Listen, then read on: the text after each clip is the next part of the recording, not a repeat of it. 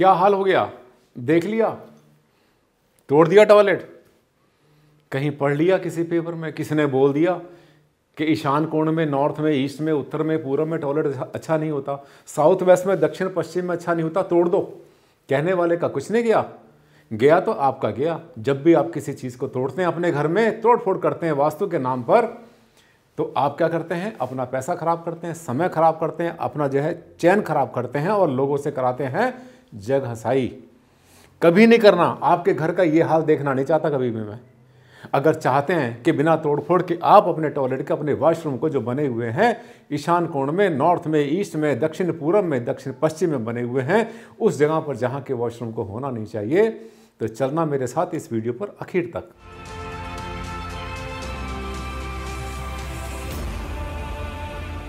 नमस्कार साथियों, मैं हूँ डॉक्टर आनंद भारद्वाज। आपका जाना पहचाना वास्तु कंसल्टेंट और हाँ ऐसा कंसल्टेंट जो कि आपके घर को तोड़ने फोड़ने से बचाता है। दुनिया में हर चीज़ की रेमेडी होती है तोड़ना फोड़ना नहीं पड़ता, साथियों।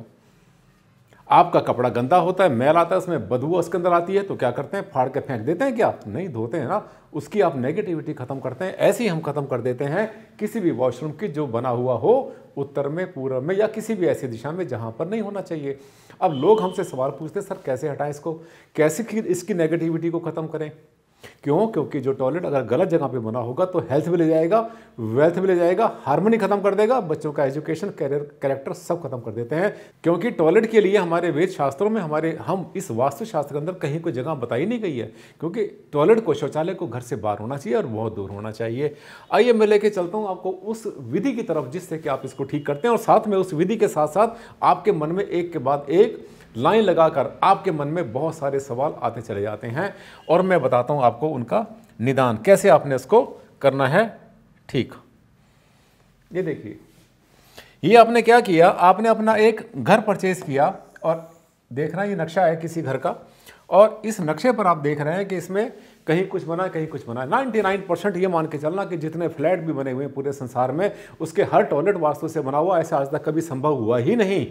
हाँ छोटा सा बना रखा घर आपने कहीं पर अपना तो अपनी मर्ज़ी से जहाँ चाहे वहाँ बना सकते हैं। कोई समस्या नहीं है, लेकिन अगर आपका वॉशरूम बना हुआ है गलत दिशा में तो उसमें हम यूज़ करते हैं एक बहुत अच्छी रेमेडी जो कि मेरी बनाई हुई नहीं है। वो इंटरनेशनल एक्लेम्ड पूरी दुनिया में जो इसे कहते हैं, स्वीकृत, पूरी तरह से जो एक्सेप्टेड एक रेमेडी है, जो कि है नमक के द्वारा, कच्चा नमक, जिसको कहते हैं हम सी सॉल्ट कच्चा नमक कैसा होता है मैं आपको दिखाता हूँ। आपको मैं पहले भी दिखा चुका हूँ अपने प्रोग्राम में। ये देखिए, इस तरह से होता है, ये डलियाँ होती हैं। आप देख रहे हैं, ये कुछ डलियाँ होती हैं छोटी छोटी बहुत सस्ता मिलता है, आठ दस रुपये किलो आपको मिल जाता है मार्केट में। इससे जो है, वाटर का फ़िल्टर को भी साफ़ करते हैं और जो आइसक्रीम वाले होते हैं, वो भी इसको यूज़ करते हैं आइसक्रीम को जमाने के लिए। यहाँ तक कि बिजली की अर्थिंग में भी डाला जाता है। ये देखो, इस नमक को पहचान लेना सबसे पहले आप। ये नमक है, बहुत सस्ता। इसको मैं कहता हूँ, फ्री की रेमेडी मुफ़्त की रेमेडी अब ये जो टॉयलेट है, ये जो आपने देखा सी सॉल्ट जो कच्चा नमक इसको बोलते हैं हम, इस नमक को आप अगर अपने वॉशरूम में कहीं पर भी रखते हैं, जहाँ भी रखेंगे, जहाँ जगह मिलती है, आप इसको ओपन रखना है ओपन टू एयर कुछ बातें आप ध्यान कर लेना। अब ये जैसे टॉयलेट है मेरा, मान लिया कहीं पर इसको लेकर गया मैं, जहाँ भी बना हुआ है, गलत जगह बना है, यहाँ बना हुआ है, यहाँ बना हुआ है, और आमतौर पर क्या होता है कि जब भी कभी, जब भी कभी दो मकान या दो कोठियाँ या दो फ्लैट आपस में जोड़े जाते हैं तो 99 परसेंट मान के चलना कि टॉयलेट तो नेगेटिव हो ही जाते हैं, क्योंकि एक जगह के लिए दूसरी जगह जैसे या तो नॉर्थ में आती है, या ईस्ट में आती है, या फिर साउथ वेस्ट में आती है, या फिर आती है दक्षिण पूर्व में, अग्निकोण में। अब ये नमक जो आपने रखना है इस टॉयलेट में, कहीं भी बना हुआ हो, कैसे रखना है, इसके लिए चार पाँच बातें ध्यान करना। नंबर एक, इसको आपने रखना है ओपन टू एयर। जैसे मैंने आपको दिखाया था, खुला रहेगा, वहाँ की एयर को कैच करेगा, पहली बात। दूसरी बात, उसको जब यूज़ करेंगे, उसमें आपने रखा खुला हुआ क्वांटिटी एक दो मुट्ठी बहुत है, सौ दो सौ ग्राम बहुत होती है। शीशे के बर्तन में रखें, चीनी मिट्टी के, प्लास्टिक के, लकड़ी के, किसी बर्तन में रखें, धातु का बर्तन नहीं होना चाहिए। अब इसको जो है कितने दिन काम करेगा, ये भी सवाल आता है। सिर्फ़ 25 दिन काम करता है ओनली 25 डेज़ आपको 25 दिन में इसको बदलना है 25 दिन में इसको उठा के कहीं फेंकने देना। आपने सुना होगा कि जो नमक होता है इसे कभी फेंकते नहीं। अगर आप कहीं पर फेंकेंगे तो अगले जन्म में आपको आँखों से उठाना पड़ता है, ऐसा विचार होता है।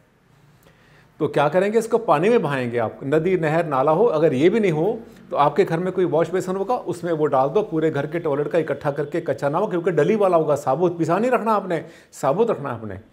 उसको वहाँ डालेंगे, हाथ धोते रहेंगे और धोते धोते सबका सब पानी में नमक बह जाएगा शाम तक, और उस जो है, उस वॉश बेसन की जो नाली है, उसको भी साफ़ कर देगा। घर में जाए आपके वहाँ से अगर कोई कॉकरोच आते हैं, उनको भी नहीं आने देगा। उसके बाद में सी सॉल्ट नया फिर रख देना आपने।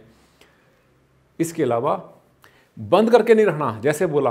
खुला रहना है, दूसरी बात, पच्चीस दिन में बहाना है, तीसरी बात नॉन मेटालिक बर्तन में आपने इसको रखना है। और इन सब इन सब के अलावा जो चौथी बात है सी सॉल्ट के बारे में, जो मेरे पास आती रहती है, लोग हमसे पूछते हैं, सर, जो हम नमक घर में खाते हैं, क्या वो रख दूँ मैं? आमतौर पर लेडीज़ पूछती हैं, क्योंकि ईजिली आपके घर में मिलता है। ये थोड़ा मुश्किल से मिलता है, क्योंकि इसमें आयोडीन नहीं होती, इसलिए जो है इसको हमने आमतौर पर खाने में यूज़ नहीं करते, लेकिन गाँव में अभी मिल जाएगा।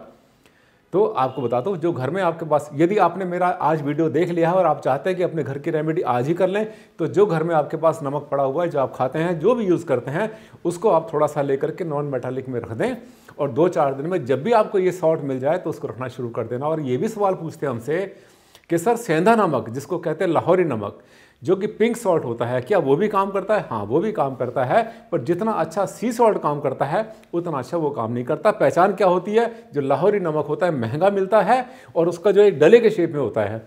तो जो ऊपर का हिस्सा होगा, वही नेगेटिविटी खींचेगा, बाकी नमक बेकार जाएगा। उसको बहाना मुश्किल पड़ जाएगा आपको। इसलिए इसी सॉल्ट का यूज़ करें।